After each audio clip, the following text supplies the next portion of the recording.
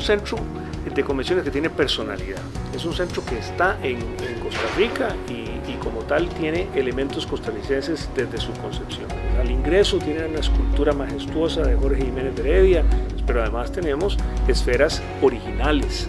Eh, tenemos un mural costarricense, un mural que para muchos le va a, recordar años eh, atrás de su infancia y demás, porque este mural estuvo en el aeropuerto del Coco, el aeropuerto del Coco era el Santa María antes, digamos. Además tiene un diseño que contempla todos los, temas de sostenibilidad, desde iluminación LED, eh, reciclaje de aguas, eh, eh, tenemos planta de tratamiento, 10.000 metros cuadrados de paneles solares se van a instalar el, en el, centro, eso es una hectárea entera, no hay ninguna instalación en ningún edificio en Costa Rica de ese tamaño.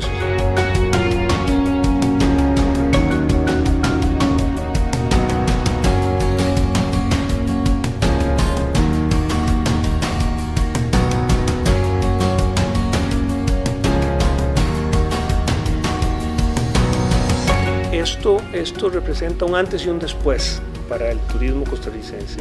Eh, la industria de turismo de reuniones es una industria inmensa y un dato bien importante, el turista de reuniones gasta en promedio, según las estadísticas, entre 3 y 5 veces más por día que el turista de vacaciones.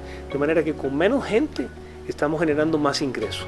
Y, yo creo que poco a poco iremos eh, entendiendo lo que significa esto para Costa Rica, no solo en turismo, sino en intercambio de conocimiento, en intercambio cultural.